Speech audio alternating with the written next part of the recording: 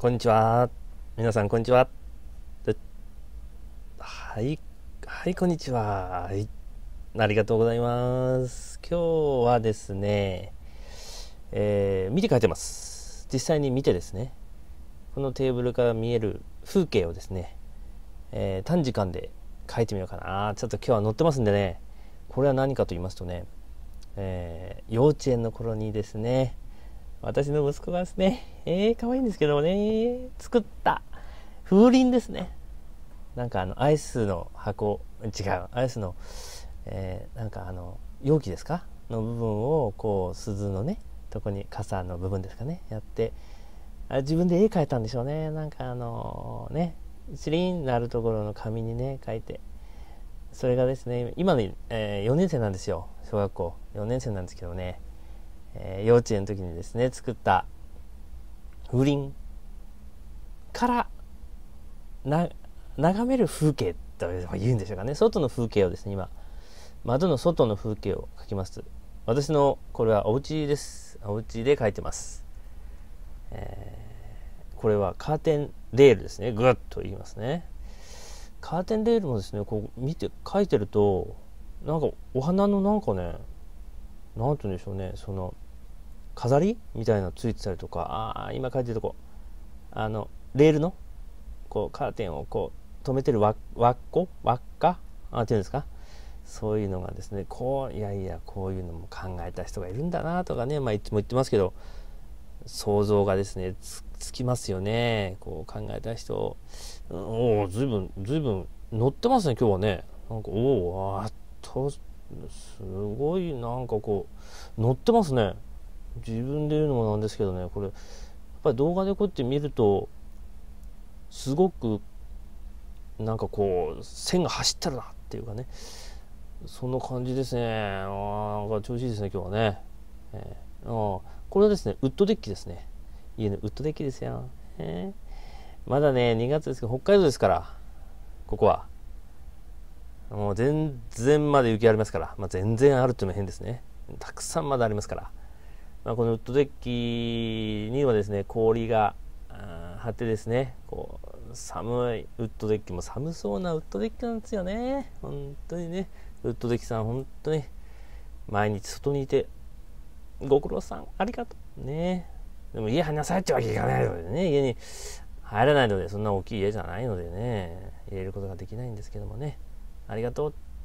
そういう思いも思いにもなってきますよねやっぱね。ああこのああそうそうそう。このね鍵の部分です今書いてるね。戸のね。戸の戸っていうの？外に出るための戸の。これもね一回ぶっ壊れてましてね、えー、それ変えたんですよ。そういう思い出がね絵を描いてるとやっぱね蘇ってきますね。それがね楽しいんですよ。絵を描いてると。ああったな。こういうことあったな。このそうだなこれぶっ壊して直したなとかねそういうことがあって。と言ってる間にもおおおいやいや乗ってますけども電電線ですねこれね。外の電線書くの好きなんです私。そういうふうにスーッとね。電線っていうのはねまあまあ電気をねこう生活にはなくてはならないですね今となってはですよ。そういう電気を運んでいる線なわけですから。生活感が出ますよね。そしてこの窓どうですか？今あちょちょっとこうスピード遅くなったでしょ？窓なんですよ。家の窓なんです。お向かい斜め向かいのもう一個向こうぐらいの家なんですけどね。そういうお家の窓ほらほらほらねほらほらほらほらほらほら。ちょっとねこうちょっと気持ちこもってるですよゆっくりやってるですよこれはですね、えー、室蘭の出張中のホテルのから街並みを描くっていうですねえー、私の動画がありますけどもねそそちらでも言ったんですけどやっぱり窓っていうのはですねその家族がいて生活しててですね、えー、いろいろあって、えー、ご飯食べたり喧嘩したりですね時にはですよ。そういう生活がある、ね、覗けるまあ覗ける覗きはしませんけどね私もね。そういうようなものをですね感じながら考えながらですねここどういう家族が住んでるのかな、ね、あのそういうことを考えながら窓も描くとですね窓一つが変わってきますよ。そういうですね偉そうなこと言ってるですね会もありますんでそれでもねあの見てくれたら嬉しいなと思いますけどね。これこれは雪ですね。雪描いておおまたちょっとウッドデッキに行ってあ雪雪とねやっぱりこのウッドデッキの泉質がね違う違いますでしょ、まあ、自分で言うのもなんですけどね。この雪は柔らかい自然からの贈り物ですよ。空からね降ってきますね。それとまあ人がですね作ったウッドデッキっていうものはですね全然違うわけですね。だからそれをやっぱり思いを込めてですねそれに思いを馳せて書くと泉質がですねあの変わってくるんじゃないですかねって私はあのいつも言ってます。いつも言ってますっていうのはね。ただ自分でねあのブツブツ言ってるわけじゃなくて、えー、スケッチ教室がですねあるんです。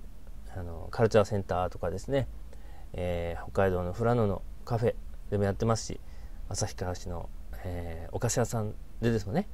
月1回とかそんな感じでやらせてもらってるんですけどもそこで皆さんに言ういつも言ってます。気持ちが、えー、書くもののことをものの、ことを考えましょう。考えたらそれに思いが入るからその思いが線となって現れるじゃないですかねと、まあ、何も考えないよりはやっぱり入るでしょ？やっぱりそのこれどうやったらこの形がうまくね描けるんだろうかとかですね。影の付け方はどうやったらね上手に見えるんだろうその私さ上手っていうのがね知らないんですよ。上手下手っていうのは下手ってどういう絵ですかと、ね、形が全然取れなかったらそれは下手って言うんですか？私は知りません。形が取れてれば上手な絵って言うんでしょうか？それも私は知りませんよ、ね、だから一番いいなっていい絵だなって思うのはですね上手だなじゃないですね。いい絵だなって思うのはやっぱりその人の思いが入って入ってですね。その人独自の思いが入っている絵が、えー、線線や色？そういうのにこうタッチとかですねそういうのが絵に現れているのがですねなんかあなんかいい絵だなってこうだから幼稚園の子供とかねまあいわゆるあんまり大人になっていない人が描く絵っていうのはなんかいいなっていうのがあるでしょ？形取れてなくても線一本引いてもなんかなんかこの線に味があるなとかね。それはねやっぱりそういうことなんですよ。上手に描こうとしていない。上手って何ですか？まあそういうことなんですね。もうそう言ったらあれなんですね。えー、できてきましたね。えー、えー、これはあのカーテンです。ね。カーテンのふわふわふわ。カーテンから天気いいんですよ。ね今日は。だからその木漏れ日っていうかな、まあ、雪がいっぱいまであるんですけども青空でもうピッカピカなんですよ。でもね気温はねマイナス15度とかですよ。いや本当ですよ。2月3月になってないんですからね。でもですねその外から入る日差しがですね春春かな？お前は春なのか？ん？っていうですね。まだまあまだ春とは言えないけどもちょっとした日差しに春を感じる。というのがですねやっぱり北海道の人はやっぱり町同士、ね、でですからね感じるそういう雰囲気をね出して、ん、これねやっていいですね、ん、よはい。ああできましたよ。そういう思いを込めてですね書くとですねこういったような感じになって本当にですね、えー、楽しいんですよ。絵を描くということはね。